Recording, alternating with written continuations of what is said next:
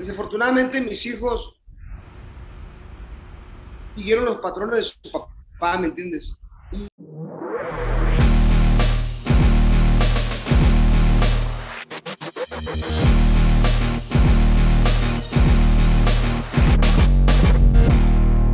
Cinco meses aproximadamente es lo que lleva Julio César Chávez Jr. desaparecido de las redes sociales, en la pelea quizá más grande de su carrera, las adicciones.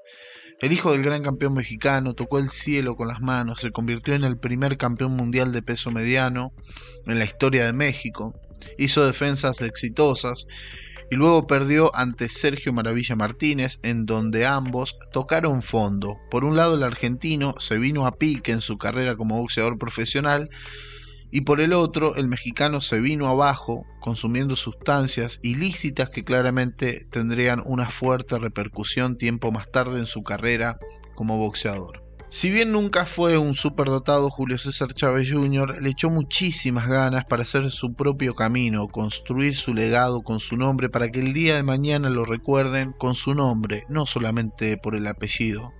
Tristemente, y pese a tener todo a disposición, tiró su carrera a la basura el día que tocó las adicciones, las sustancias. Su carrera se desplomó por completo y en cuestión de pocos años se vinieron derrotas muy dolorosas. El boxeo es 99% dedicación y 1% talento. Para mí, si no tienen dedicación, no vas a trascender porque este deporte es muy celoso. Quiere que te dediques por completo a él. Y si no, se pagan las consecuencias a largo o corto plazo. En lo personal me apena y muchísimo la situación de Julito porque es una persona carismática que te brinda lo que tiene de corazón, sin nada a cambio.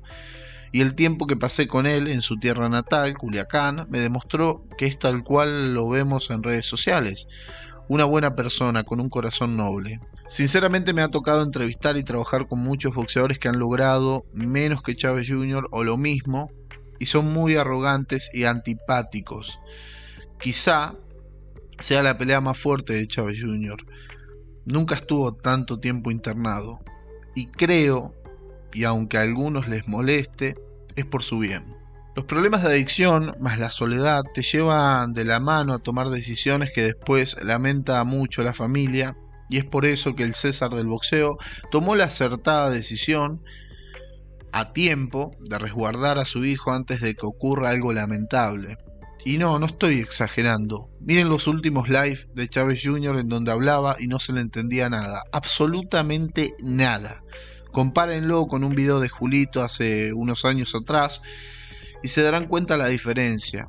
También se lo veía agresivo a veces, amenazante, manejando a alta velocidad a horas de la madrugada. Era cuestión de tiempo nada más para que ocurriera alguna tragedia.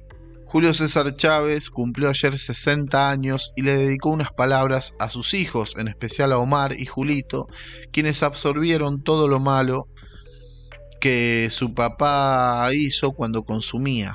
Para mí ha sido muy difícil, siempre he luchado, luché contra mi adicción, desafortunadamente mis hijos siguieron los patrones de su papá y desafortunadamente para mí ha sido muy difícil.